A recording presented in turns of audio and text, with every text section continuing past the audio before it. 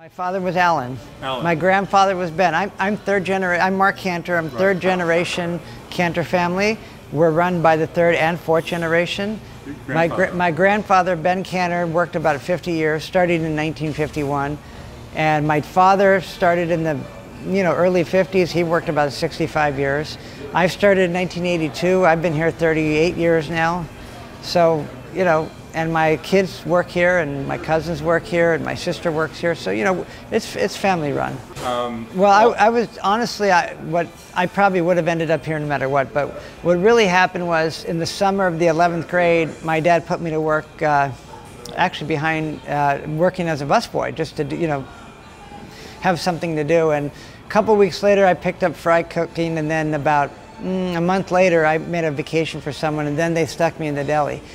Okay, so what, now, what really happened about three months into that, my father injured his back, and he was in traction. He was out for two or three months, and all of a sudden, all his responsibilities just dropped on me, and anything that that he was supposed to do would fall on me, and people would come and ask me questions that they'd normally ask him. So by the time he came back, I was already in and, and, and juggling, you know, juggling nine balls in the air. So I never really looked back. That was the end of that. I finished one more year of high school and, and uh, there are things to do. Tell me about being at the deli all your life. I mean, uh, what's it like? Well, you, you know, you come in and, and, and they give you a little job to do, and then on your way to do that little job, someone stops you and tells you about another job that needs to be done. And then, so you think which is more important, then you pick the, whichever one is more important. And then on the way to finish that, they give you a third job, and then the phone rings. And so, really, before you know it, it's time to go home, and, and, and you did like a hundred things. So, that's what it is. To a deli is a lot of, you know, it's a lot of love and, and blood, sweat, and tears. It's a, it's just a lot to do. There's a lot of labor. There's this place is huge. It's almost 30,000 square feet, 25,000 square feet. So 160 employees. There's just a lot to And that. you're here every day? Pretty much. I try to take Monday or Tuesday off, and but there's always uh, something that comes up that maybe I don't work full days those days, but I still come in and do some things. Now, do you have siblings? I do. My sister. So she's here too? Yeah, yeah. Okay. So we all do our part to, to make it work. For people who haven't been here, there's very few, but for people who haven't been here, what makes Canter's such a LA institution? There are so many things here that make Canter special. Uh, you know, I'll give you a slogan that we came up with. Canter's is a place where grandkids bring their grandkids, meaning that when they were four or five, their grandparents brought them here, and now they're bringing their kids and their grandkids here. So that's how long people have been coming here. It's just because you know we're here, A- and the food is good and the atmosphere is fun, and you know there's things that we do that not too many people can really do. Uh, some of the items on the menu, they're they're special. They stick out. And you know, we have a full bakery upstairs. We double bake our rye breads, and make the black and white cookies, and every all this stuff, the rugelach and the bakery case and the cheesecake. It's all made by hand. It's all handmade, so it's not like you're buying things from, you know, a, a, a purveyor and opening up the package and serving it. We're, you know, we're making it. So, uh, you know, when you put that kind of effort into it, and you got the same family running it for, you know, close to 90 years now, there's you know something to that. And then you have on the other hand you have employees that have been here 50 years 40 years 30 years. I mean more than 50 of them have been here you know more than 20 30 years. So they kind of it's their home too you know? Everyone does they know what to do we're not turning over staff so it, it's like an institution Well, one, at one time you were known for really funny waiters, right? Acerbic waiters? Well, uh, more so. I mean, th- th- they'll tell you some jokes, and they'll tell you, you know, deli's supposed to have the kind of, what are you going to have? You know, that kind of thing. Oh, you want croutons? And they take your crackers and bang them. Here's your croutons, you know, for your soup, instead of saying, oh, you know, we don't have the fancy croutons that go in salads, but you could use crackers. They'll just literally take a package of crackers and smash it and say, here, croutons. So it, there's a sense of humor, I guess, when they're taking your order. But, you know, there's a lot of uh, old decor around here that's never changed since the dinosaurs roamed. So people like that. They like to come in and, and look up at the ceiling and see the autumn ceiling. And they like to look at the glass plates that have been here. They're Higgins, a special glass over there. It's been here since 1959. So there's, it's kind of like a time machine. You know, nothing really changes. But and, but uh, in the end, you know, we make our own pickles, we make our own soups, we make everything's made here. So it, it, it's home. It's really home cooked food. Uh, I'm, some of the other delis I've been to, the audience is very older.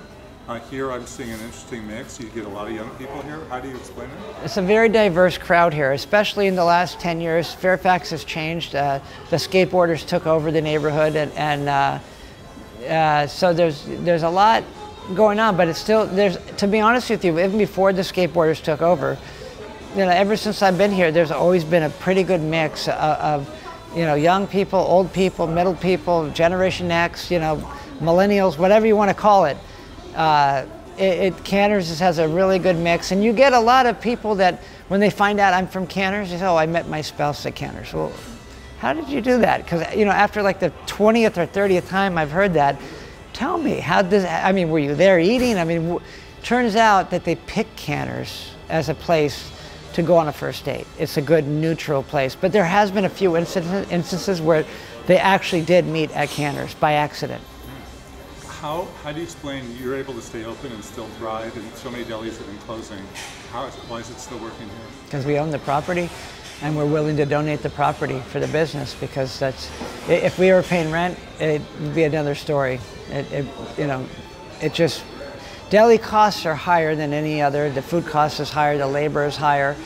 And it, it's just it, the, you need more space and more equipment to, to manufacture tho- that, that, that stuff. And it, it's just it's not it doesn't work economically. So, like if we were run by a computer, they'd say liquidate, you know, because it doesn't make sense to keep all this property to run this business. But we do it because we al- we've, we've always done it and we always will do it because that's the that's what we do, you know.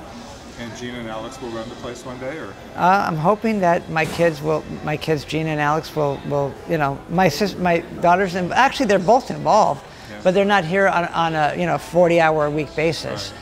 So, but they definitely have their input, and Gina runs the you know the social media, and my son and I worked on the menu for six months in 2012. I mean that was a big ordeal, uh, re, you know, revamping the menu a little bit. Uh, but there's been a lot of projects that you know I work on with my kids that that. Um, but as far as you know replacing me when I'm too old to do it or I'm gone, that's going to be a task. I mean, at that, at, at, well, I'm I'm hoping I can give it another 20 or 30 years, but um, at that point, something's get, a decision's going to have to be made to probably downsize a little bit because I don't think anybody in their right mind would do the things that it takes to actually keep this monster of, of a machine going. tell me about the food. What do you have a favorite sandwich here? I think the Reuben's our favorite sandwich. Uh, I have many favorite sandwiches because I, I'm here every day, so uh, sometimes you got to get creative, and that's how things get invented and end up on the menu. You, you take brisket, you know, you like brisket, but you've only, you know, you had brisket, you know, 12 ways and you start to get tired of it, so you look for more ways. What can we do with the brisket? Well, we could throw it in a panini press and with uh, some Russian dressing and coleslaw and egg bread and you know, a little Munster cheese and see what happens. And you get a whole new brisket monster. So, or you could kind of cut it up and throw some onion gravy, mix it in a bowl, put it with, uh, you know, uh, Munster cheese and, grill it, and then all of a sudden you get like a brisket dinner kind of a taste uh, with the gravy and everything. And but it's different than a brisket dinner, but it's somewhere, you know, it, it's uh, it's in the family of it. So you, you get you find you find ways to take items you have and make them fresh again or new. Uh, we've also added uh, we have a corn beef, a vegan corned beef pastrami now. Uh, and that's, you know, we've had that a couple months, and that's really good because the people that can't eat meat anymore or are vegetarians have been, you know, that gives them another option to have that deli flavor, uh, and and they're not really eating the meat. So that that that seems to make a big splash too. Now, there have been a bunch of articles about the hot pastrami at Langer's. And they say they've got the best. When you read that, what do you think? Well, Langer's does have a good pastrami, but uh, our, I'm not going to say whose is better. They're a little different. They're both very good. They're both very good. Uh, Theirs a little saltier. Ours a little bit sweeter.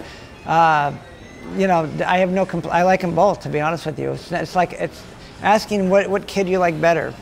you know, they're, they're your kids, they're both good. I, I give my stamp of approval on theirs and ours, I, but I can't say they're just a little different. And let me just say the art of the deli. The deli needs to continue and thrive because uh, because it's in our blood. uh, you know, it, it's it, it's something I've always done, and there's a certain amount of pride in that. And you're doing something, you're keeping people working. There's 160 people that work here, and they're like family to me, uh, or at least most of them are. So it, it's just it's, it's what I know what to do. It's, it's, how, it's what I know. You know. But I mean, outside of your personal connection, that the, the, deli should, when, when you're gone, 50 years from now, 60 years, whatever, I, 70 I, years, the deli should still be here because why? In 50 years from now, I'm hoping the deli is still here, but I, I promise you, it will be on a much smaller level. It will be uh, it would be mainly because the way the way technology is moving and everyone's ordering from their smartphones, you don't need a high capacity seating. You just need to be able to produce the food and, and, and, and get it to the drivers who are going to take it to where they're going. But leaving, you know, people still want to come to Canter's and sit down and enjoy that experience. There's something, you know, you can't just have all your food delivered to you. It's not quite the same. But it will be, it's just, I don't see who else could possibly put in the, the effort that it needs. And believe me, it needs a lot of effort to keep a place this size running uh, it just won't be economical. It, it, it, it, won't, it won't work, and it won't work in 50 years from now. The only way it works is on a much smaller scale. Okay, well, I hope it's still here. Uh, Marc, thank you so much. Right, thank you.